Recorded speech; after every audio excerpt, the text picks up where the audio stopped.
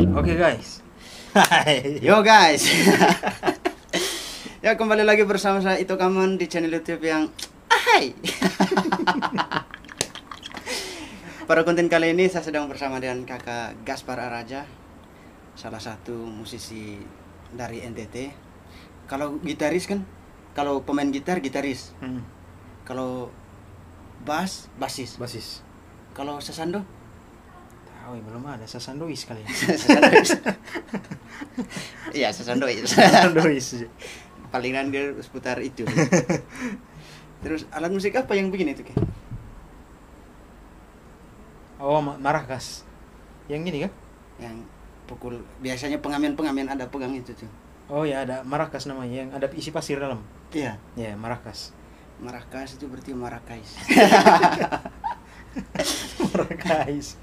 ya sebelum kita memulai konten ini marilah kita Berdoa.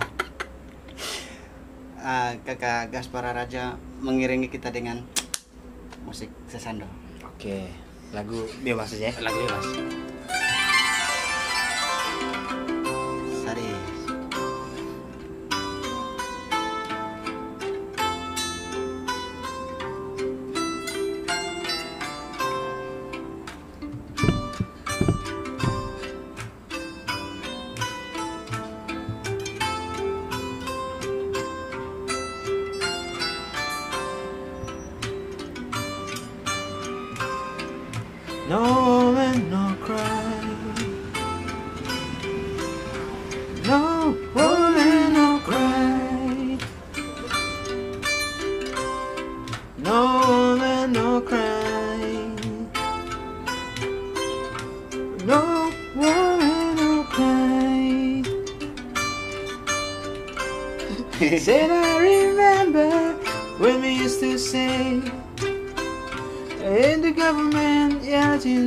sound.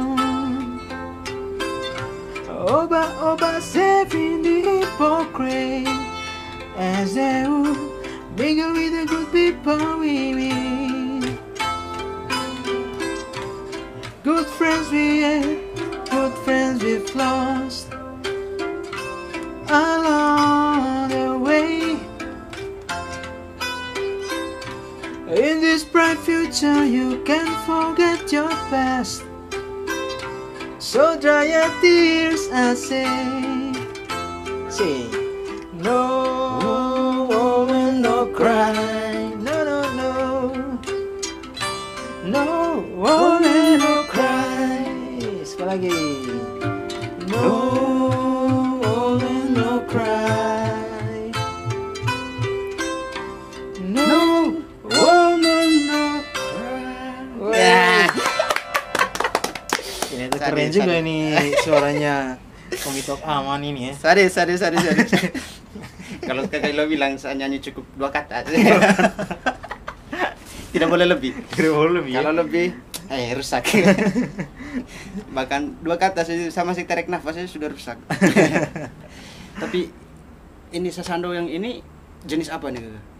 Oh ya, jadi eh, ada dua jenis sasando ya.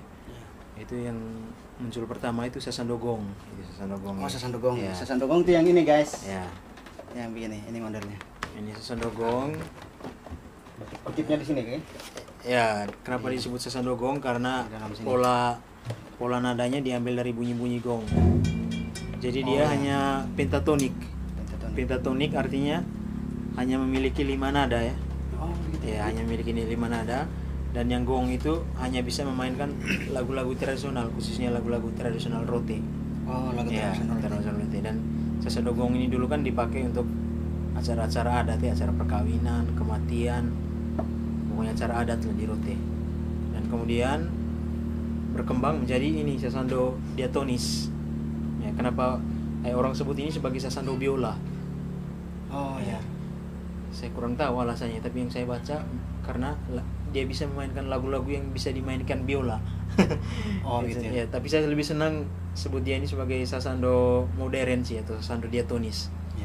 sasando diatonis itu artinya sasando yang nada-nadanya sudah lengkap Berarti berdasarkan sejarahnya Sasando yang pertama muncul itu Sasando apa? sasando gong ya Sasando sasando gong kemudian berkembang ini menjadi sasando modern diatonis dan ini sudah bisa memainkan lagu-lagu pop ya mau lagu Indonesia lagu Barat lagu daerah juga bisa Jadi kalau sasando gong dia hanya bisa dimainkan saat menyanyikan lagu-lagu rote. ya lagu lagu-lagu daerah Rote. Sasando ini kan berasal dari rote ya ya, karena sesando itu berasal dari Pulau Rote dari Pulau Rote. ya Jadi boleh diceritakan bagaimana pengalaman awalnya Kakak Gaspar lebih tertarik main sasando gitu. Memilih untuk Oh, terjun iya. ke dunia musik sasando. jadi sesando itu kan mulai ini terkenal saat itu acara pencarian bakat dulu ya. Indonesia mencari bakat sama Indonesian Got Talent kan Iya. di situ ada eh, ada sasando juga dan yang main itu Birtopa dan Jitron Pa kan Oh ya. Dulu dulu waktu saya masih di Flores gitu tahun 2009 ya kalau nggak salah itu dia punya pencarian bakat itu. Saya masih di Flores dan saya nonton di TV dan kemudian saat 2010 itu saya prakteknya kan di Kupang Iya. sebagai frater dulu saya. Top, top. frater top ya. Top itu artinya tahun orientasi pastoral. Iya. jadi setelah kuliah filsafat habis ada prakteknya. Yang saya praktek di Kupang nah, karena saya sudah tahu saya pernah lihat saya Sando itu dimainkan di TV oleh itu Jitron sama Bertopa itu akhirnya saya ke rumahnya dia di Oibelo Kupang nah, ke rumahnya dia kemudian saya lihat langsung itu bapaknya main kan Iya. Nah, dari situ saya langsung jatuh cinta sama Sesando dari dari segi bentuknya terus cara bermainnya dan juga nada-nada yang dihasilkan karena ini kan ada 32 dawa ini. Oh 32. Iya. ada 32 tapi dia bisa menghasilkan suara yang merdu itu kan itu sesuatu yang luar biasa ini. Ini sedikit lagi sudah bisa jadi satu negara ya. sedikit sedikit dengan jumlah provinsi Indonesia. Jumlah provinsi. bisa jadi satu negara. Yang paling menarik itu secara latar belakang pendidikan Kakak Gaspar kan alumni mahasiswa filsafat Iya, iya. STF Kale Dari Dalero. Lero ya.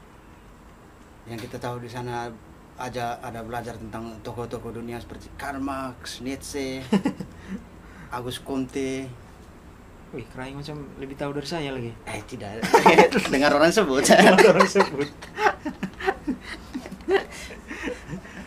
Jadi di di di di STF Kale Dalero itu belajar sasando juga atau tidak?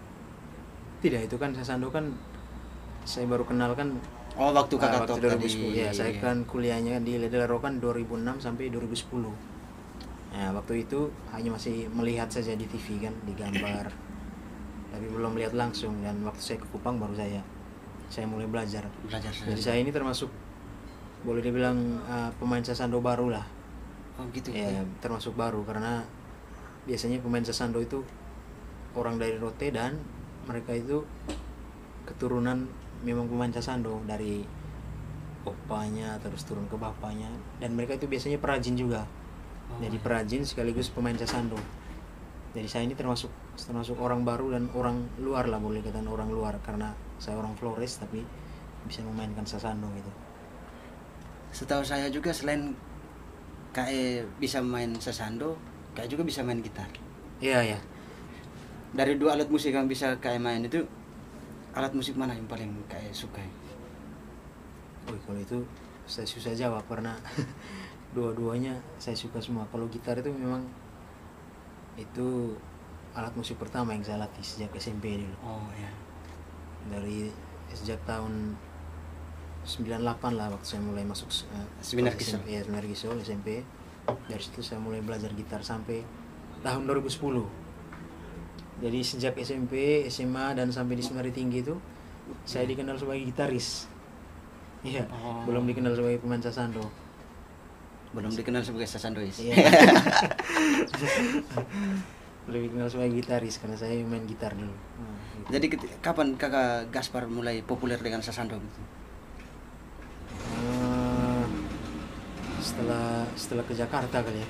Oh ke Jakarta. Iya, setelah ke Jakarta tahun 2012 kan. Iya.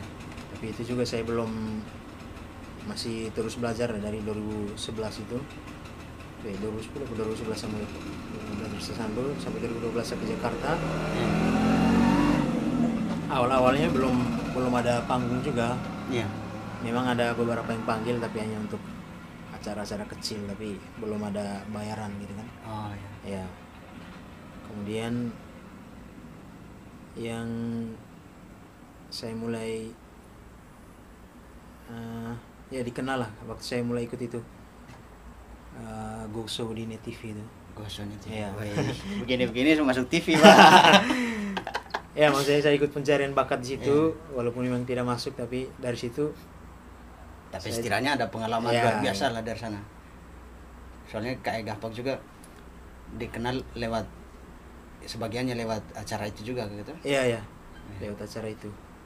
Jadi selama di Jakarta kesibukannya kakak mulai dari datang pertama itu memang tujuannya untuk mau mempopulerkan sesando atau bagaimana? Eh, tujuan mempopulerkan sesando sih tidak sebenarnya. Karena awal kan cita-cita kan ya pingin bermusik sih di di Di Jakarta Jakarta. kan karena sebelum saya ke Jakarta memang cita-citanya dari dulu pengen bermusik di Jakarta kan. Entah itu sesando atau Iya, gitar. entah itu gitar, entah itu gitar atau sesando dan waktu saya datang pertama kan ya biasalah kita kan belum belum kenal lapangan toh. oh ya Ya jadi harus cari uang dulu. Jadi kebetulan saya ini kan sarjana filsafat. ya Jadi masih bisa kerja lain lah. selain Jadi sambil bermusik ya sambil ini melihat lapangan, mencari jaringan, mencari teman, saya ngajar musik dulu. oh Ya 2012 itu sampai 2016 saya 4 tahun. empat tahun ngajar Ya, musik itu nga- di ngajar musik di sekolah di SMP SMA SD saya SD ngajarnya. Oh, Ada juga SMA tuh yang ekskul. ekskul ya Itu di di tiga sekolah sih selama saya 4 tahun itu di eh, John Paul School di Bekasi. Kemudian satu tahun itu, kemudian saya pindah ke Saint Peter Kelapa Gading dua tahun. Kemudian satu tahun lagi di Don Bosco Pulau Mas. Dan setelah itu saya memutuskan untuk tidak mengajar full di sekolah. di sekolah Ya. yang kakak ajari waktu itu musik sesando atau gitar Tidak ya kan sebagai pelajaran musik loh. Oh pelajaran ya, musik ya pelajaran musik bukan bukan, Bukan khusus spesial ya, gitu ya? ya. Jadi umum lah nyanyi lagu-lagu lagu wajib, baca baca not, main pianika, main pia, main gitar, keyboard gitu. Musik secara umum tuh, bukan ada. mulai dari situ mulai main-main di kafe Ya, mulai dari situ mulai jadi kalau di kafe itu kayak main main gitar atau main sesando Oh, kalau di kafe saya sebagai pemain gitar dan nyanyi, juga. nyanyi Ya. juga ya. Jadi tidak pernah sesekali coba main bawa sesando gitu main sesando pengen juga sih, tapi kan orang tidak minta tuh. Memang ada ada beberapa kecuali event-event khusus. oh ya Ya biasanya sesando ini kalau yang saya git, eh, di cafe itu atau di hotel itu disebut reguler toh. iya Jadi biasanya itu main gitar sambil nyanyi, tapi untuk sesando belum ada regulernya. Iya Kalau reguler itu kan ada jadwal tetap toh. iya iya Kalau ini masih di event-event lah. event-event saat-saat tertentu Ya, saat-saat tertentu. kalau orang request gitu Ya, ya. di Jakarta fokusnya untuk populerkan sesando juga Ya, untuk kalau sekarang tapi itu tidak tidak menjadi fokus utama fokus fokus utama sih karena memang saya memang sekarang orang lebih mengenal saya sebagai pemain sasando. pemain sesando ya Iya. boleh dibilang ya brand lah brandnya saya lah sekarang. Sebagai Soalnya- pemain sasando. Eh, satu tahun terakhir satu tahun lalu kayaknya. Ya itu yang putri pariwisata atau putri apa ya Putri Indonesia juga. Putri Indonesia dari NTT itu kakak Gaspar yang ngajari dia? Iya ada ada dua orang ada dua orang putri Indonesia yang saya ngajar. Ya putri Indonesia NTT namanya Maria Kalista eh Maria Kalista lagi sorry Maria ini Hostiana. Oh Maria Hostian Maria Hostiana. Dia dia mewakili NTT terus dia mau belajar ini. Dia mau belajar sasando akhirnya dia kontak saya. Kita udah dia dapat nomor dari mana dulu? Sudah kontak saya. Kemudian baru tahun lalu 2019 itu namanya Jolin. Maria Jolin. Dia putri putri lingkungan hidup Indonesia sama Miss Internasional Indonesia. Dia orang Manado nah, dia belajar sasando di saya juga karena dia mau ini ikut ini ajang ini Miss Internasional di Jep- di Jepang sempat tunggu sampai sana ya dia dia main sasando di Jepang dan saya ajar dia selama tiga bulan Wih, bangga sekali berarti Iya, iya. memang bangga juga sih karena kita punya murid putri-putri toh. asli Asli ya. putri laut putri malu Jadi beberapa kali juga saya melihat kakak Gaspar main sasando itu ke luar negeri ya kakak. iya iya iya Itu Ya. pertama dulu sampai ada kesempatan keluar itu bagaimana ceritanya itu kakak? itu waktu yang pertama itu saya ke Hong Kong tahun 2000 2017 ya 2017 lupa lagi 2016 17 ya jadi waktu di Go Show itu kan ini si siapa ini kan tanya saya ini eh, Omes ya ada, ada Omes ya Omes ya Omes. Iya kan Omes ya. Itu, dia kan juri juga dulu dia Iya. bilang apakah ini saudara Gaspar Araja ini pernah keluar negeri dengan bawa sasando saya jawab ini belum pernah saya Iya. oh dia bilang oh nanti setelah ini pasti akan ada ada yang panggil nih kita doakan semoga bisa keluar negeri dan memang benar setelah itu Iya. ada ada pastor di Hong Kong kan Oh. ya pastor di Hong Kong dia undang saya untuk acara isi acara Natal. Di- di ya, Hong Kong? ya di acara Natal acara Natal ini keluarga Katolik Indonesia di Hong Kong. Itu yang pertama yang keluar negeri tuh. Iya. terus yang kedua lagi dari Hong Kong undang lagi mereka undang lagi acara Natal Flow Bamora itu 2018 yang saya pergi saya pergi kedua kalinya. Jadi memang di sana Oh itu yang di postingan di video di Facebook atau di dengan di YouTube-nya kakak itu yang dengan ibu-ibu. oh itu itu itu di itu di Jepang Oh itu di Jepang. ya kenal. jadi Sasando ini memang memang membuka membuka banyak eh, jalan sih untuk saya kan Iya. yang pertama itu keluar negeri itu ya memang tidak sebanyak pemain sasando lain lah baru beberapa negara juga saya Hong Kong terus pernah ke Riyadh Arab Wah, main di Padang Gurun sama di Jepang yang terakhir tuh Yang debu banyak di sana ya kayaknya. ya memang ya sasando ini memang buka banyak jalan sih saya bisa bisa tampil beberapa kali di TV terus kolaborasi juga dengan beberapa artis ya karena sasando ini ya Sadis. sadis ya Sadis, sadis, sadis. Jadi seharusnya kalau dari pengalamannya kakak Gaspar itu bahwa sasando itu salah satu alat musik NTT yang paling populer saat ini. Jadi kalau menurut saya seharusnya itu diterapkan di sekolah-sekolah diajari di sekolah. Iya ya. Memang harusnya begitu karena yang saya lihat di NTT itu belum ya, belum ada Iya.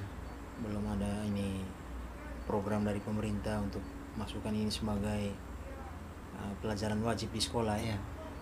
Makanya Muatan lokal lah Iya, muatan lokal lah karena karena menurut saya ini ini alat nih jenius memang. Kalau- saya bilang orang rote itu jenius sekali karena mereka bisa menghasilkan alat yang sangat indah ini sangat unik dan dia bisa Padahal ini kalau Iya. ini dari daun ini kan apa? nih? memang dari bahan-bahan yang kita biasa buang-buang lah kalau di kampung ini kan daun lontar Daun lontar. yang orang bisa buat jadi rokok jadi Iya, tikar koli. ya kori kan Iya. kalau ini bambu terus kayu jadi sederhana saja punya alat Kalau senarnya ini senarnya senar gitar Oh, dari senar kita. ya senar gitar Kalau kayak tali-tali yang nada-nada tinggi itu ya, yang di gitar. ya, ya.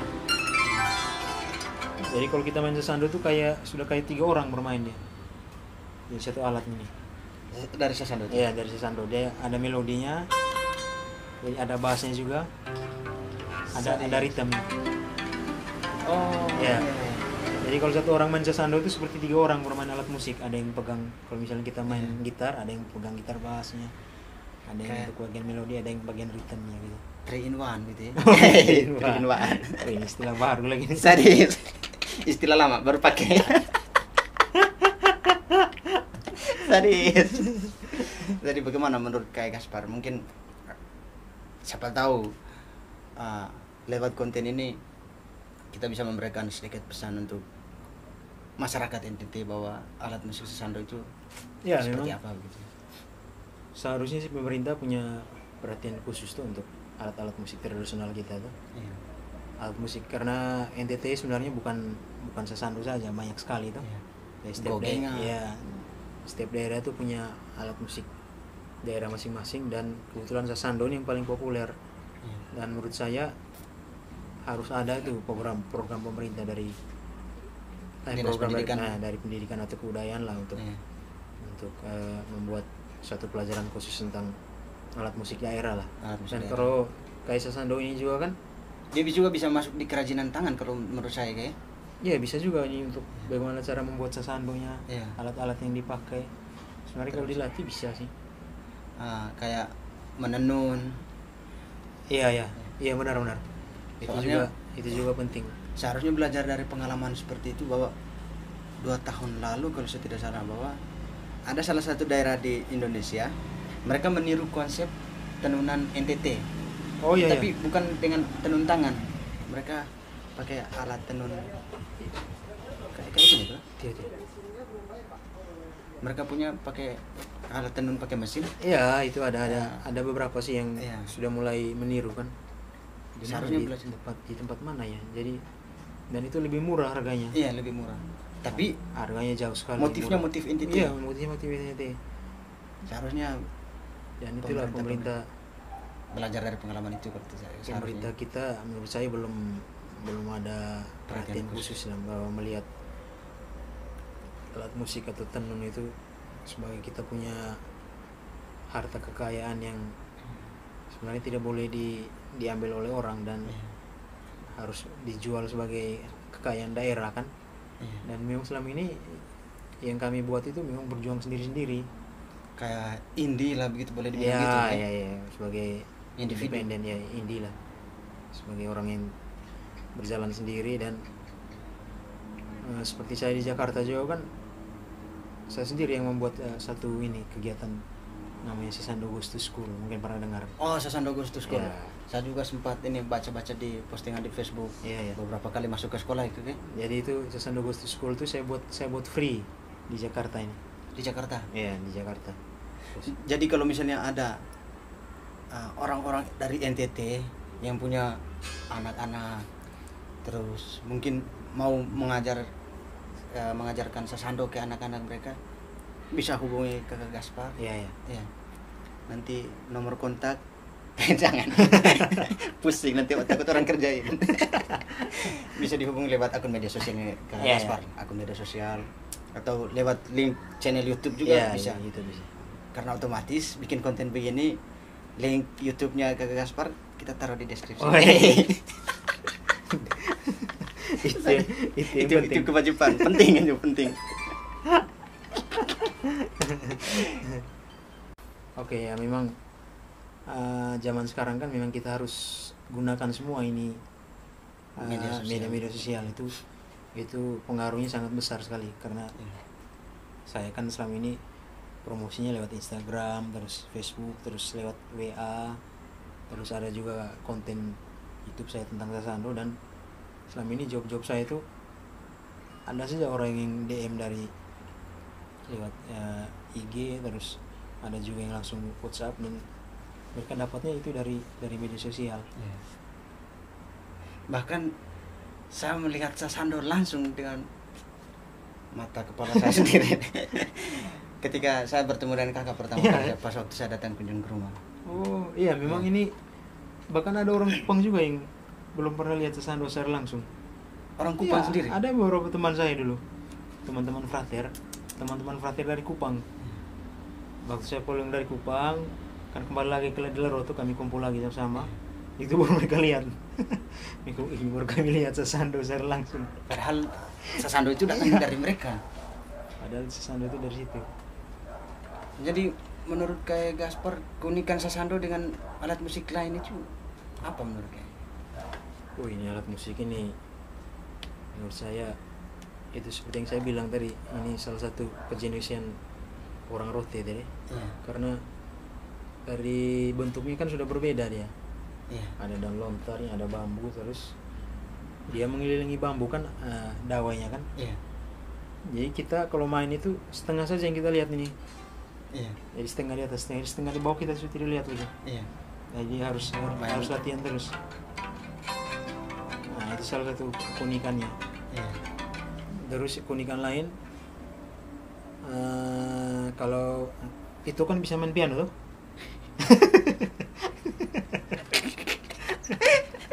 Hancur saya gelap Gelap ya? Iya. oh, oke. Biar pakai bayangan sih toh. Bayangan ya oh ya Ya, kalau teman-teman yang bisa main piano atau keyboard biasanya kan kalau keyboard atau piano itu tangan kanannya itu kita pakai untuk main melodinya. Main melodi lagu tangan kirinya untuk chord. Chord ya. Chord. Itu piano atau keyboard. Tapi di sesando terbalik tangan, Tangan- kanannya untuk chord tangan kirinya untuk melodi sama bass. Ya. Jadi itu keunikan sesando dan juga uh, bunyi yang dihasilkan itu ada jadi ada daun ini dia sebagai resonansi dia. Memperbesar suara. Oh iya. Daun ini pengaruh Ya. dari daun ini.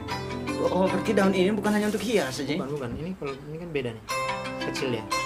Oh iya. Kalau ini? Ya bahasnya lebih gini ya lebih jadi ini sebagai ruang resonansi. Saya pikir ini.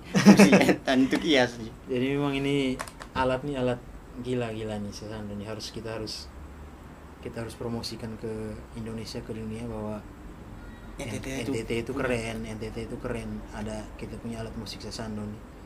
Iya. Nah, itu juga salah satu tujuan saya eh, promosikan sesando di Jakarta nih. Kan sesando Ghost to School kan.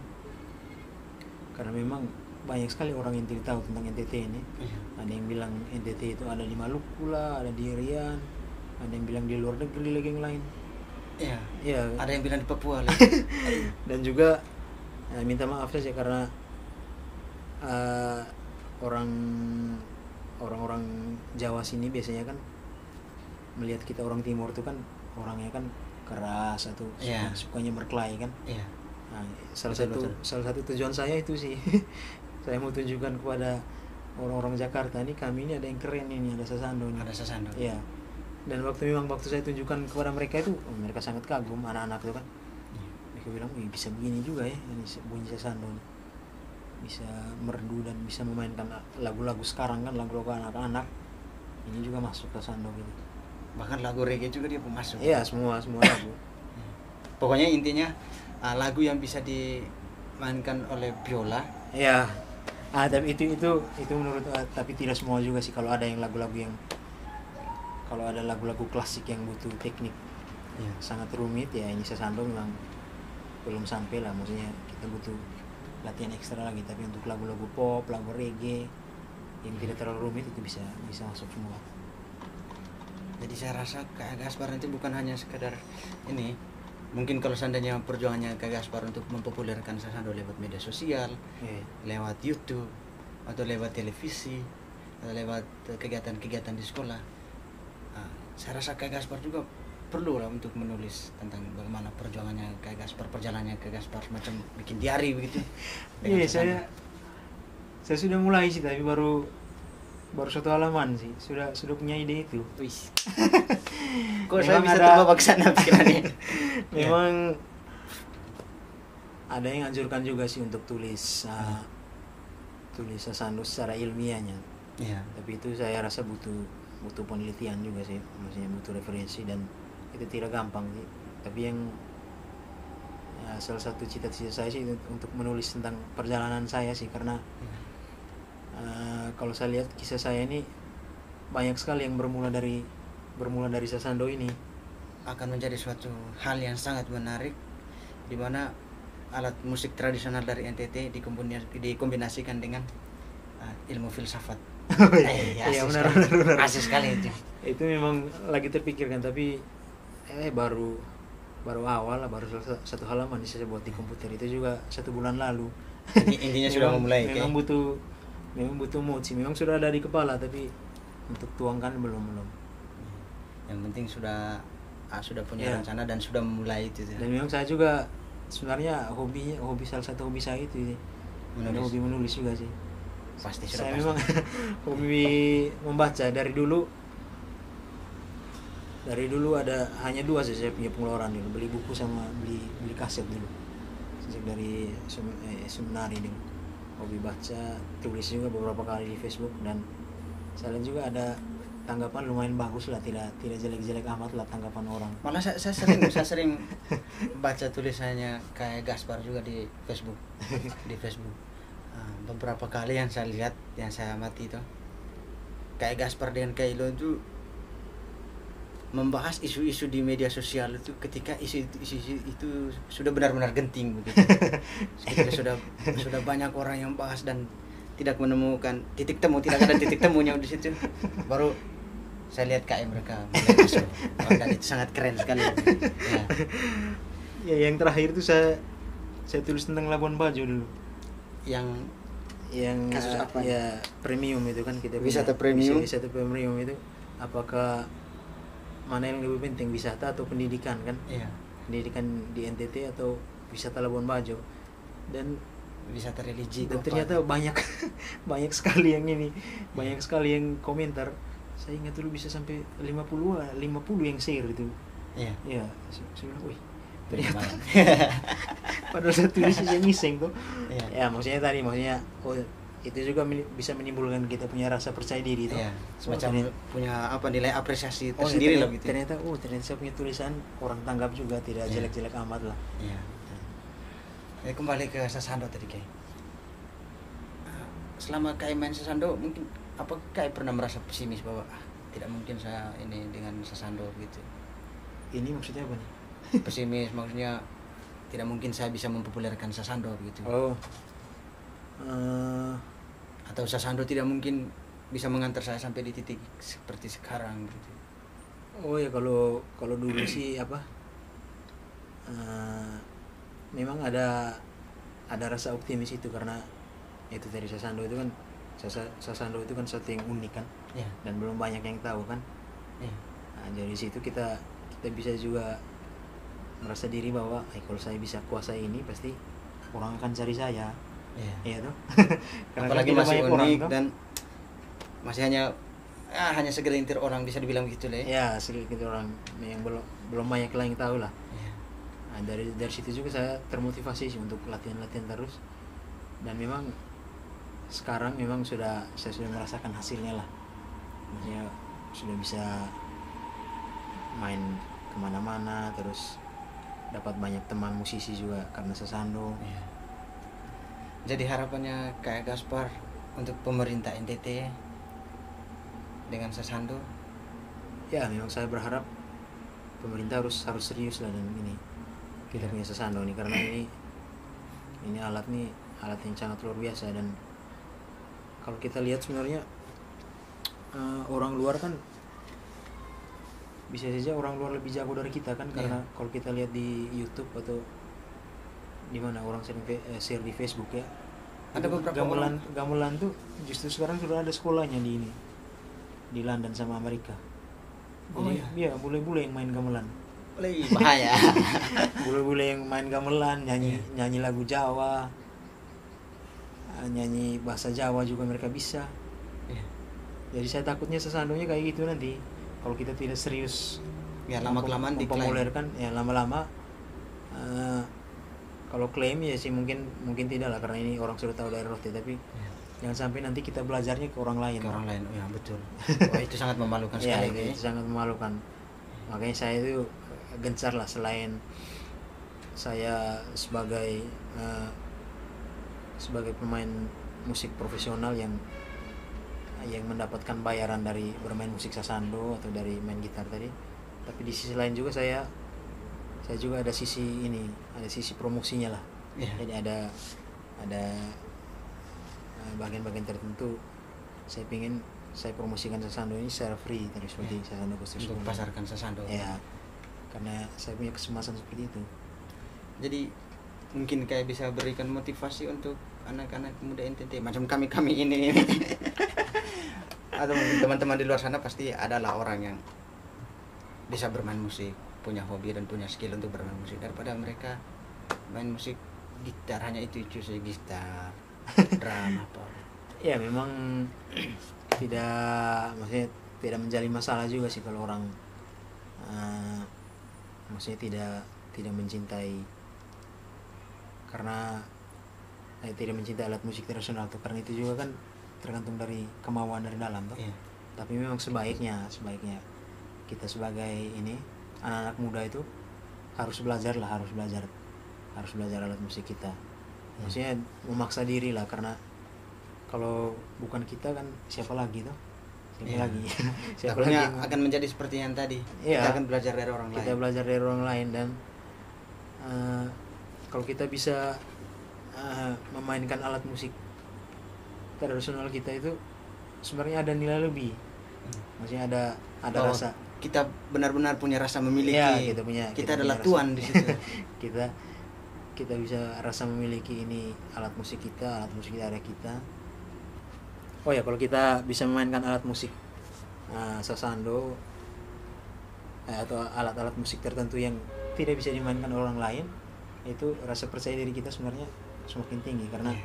walaupun kalau kita lihat ada orang yang jago sekali main piano ya jago main lagu-lagu Mozart atau lagu-lagu klasik Banyak begitu juga orang bisa gitar itu.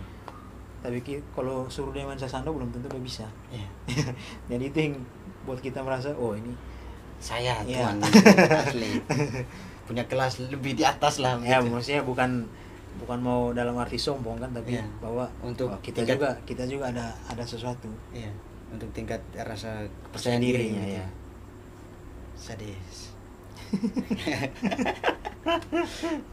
Jadi seharusnya untuk ditarik kembali gitu itu yang paling penting. Soalnya Abdur Arsyad di Oh, materi iya. stand upnya dia waktu audisi stand up komedi dia pernah singgung soal itu soal bagaimana oh ya saya pernah keresahannya dia. saya pernah nonton itu. Iya. ya mungkin sama seperti keresahannya kayak Gaspar tadi. Artinya bagaimana orang NTT itu ketika disuruh main sasando?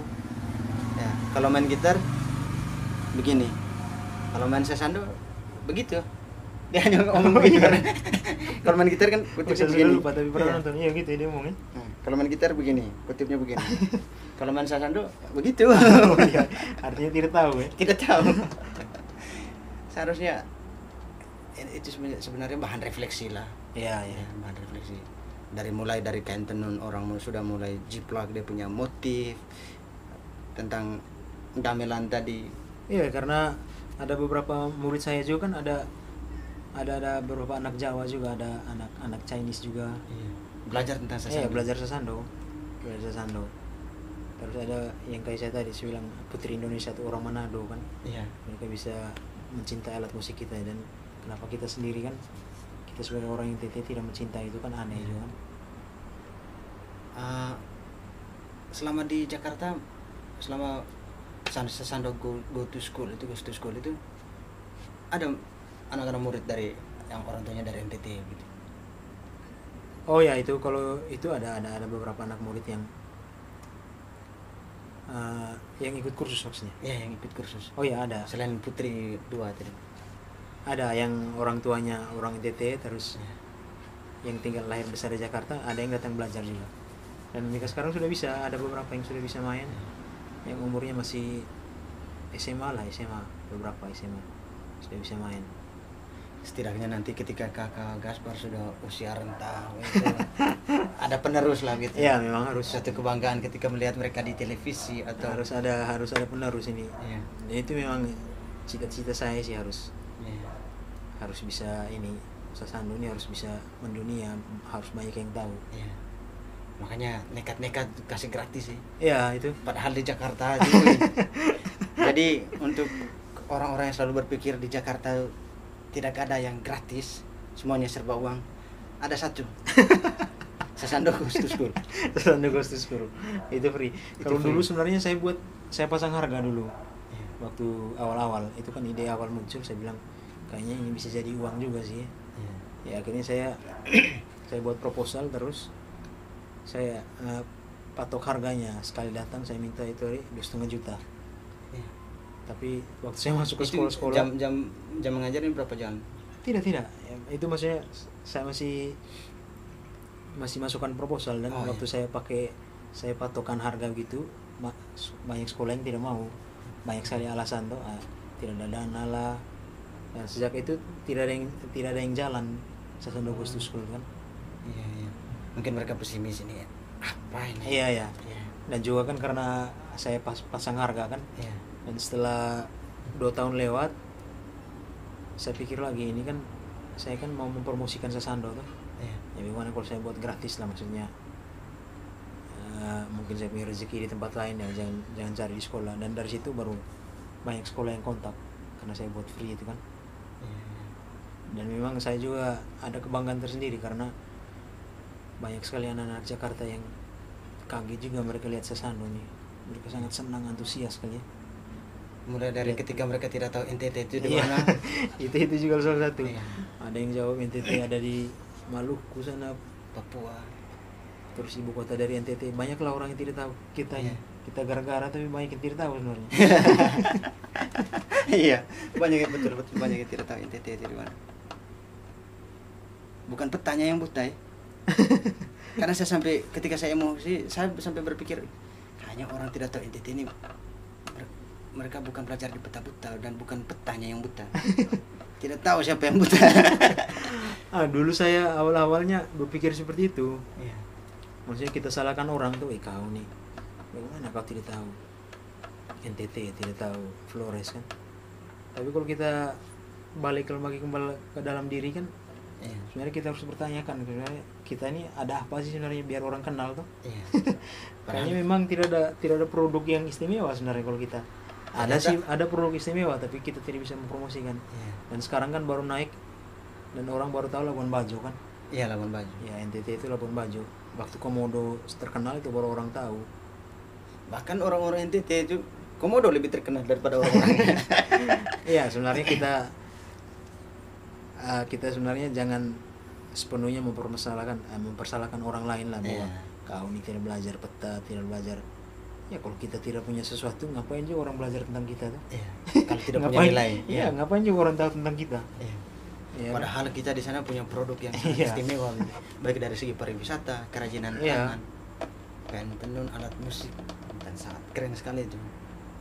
Jadi itu tadi perbincangan kita dengan Kakak Gaspar tentang bagaimana pemerintah seharusnya lebih memperhatikan uh, kekayaan-kekayaan milik NTT. ya Ya, saya rasa seharusnya fokusnya orang-orang NTT itu seperti itulah guys. Nah, bukan berarti kita berpikir tradisional atau primitif tidak. Kalau seandainya yang mana yang lebih penting kekayaan yang sudah dibangun sejak dari nenek moyang yang sudah menjadi kekhasannya kita itu itu Iya. yang lebih diutamakan ketimbang tambang. oh iya iya. Iya. itu Karena alat-alat ini nih bukan dari hasil tambang ini. Iya, iya. Seharusnya. memang NTT tidak menurut saya tidak perlulah tambang itu Iya. karena kita punya banyak sekali kekayaan alam yang kita bisa gali kan dari pertanian, perkebunan dan juga dari ini kekayaan lokal yang sangat kaya itu budaya kita punya alat musik. Nah ini kalau dimaksimalkan banyak sih menghasilkan uang sih ya karena belum tahu pengelolaannya kan. Iya.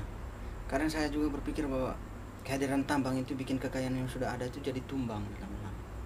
Iya Iya. ya karena kalau misalnya kan tambang itu kan menghancurkan tempat. Iya. Dia bisa menghancurkan hutan, bisa juga menghancurkan kampung, Iya. iya kan? Petani sudah tidak bisa ini lagi. Iya kan, belum lagi kalau hutannya hancur, airnya sudah tidak ada. Iya. Daun ini nanti sudah habis. Iya. Tidak bisa bikin alat musik sesandol lagi. Tidak ada lagi orang yang rokok-rokok koli. Iya, benar. Tidak ada yang buat tikar lagi.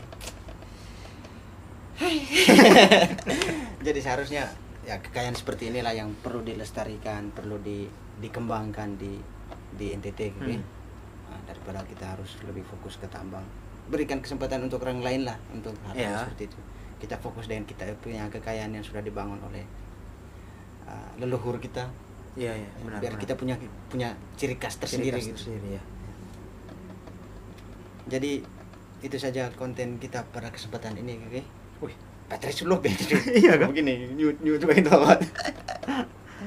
Atau kita ganti baterai dulu. Terserah keraing saya, ikut-ikut saya. Eh, sudah malam. Oh, tuh ya. Ngapain juga tidak sibuk nih? Ya. Ah, untuk konten selanjutnya nanti kita bikin lagi. Biar gali-gali ini dulu. Oh ya. Oke. Jadi untuk konten kita pada kesempatan ini sampai di sini dulu. Mungkin bisa kayak Gaspar main satu lagu lagi untuk penutup. Keraingnya nyanyi ta.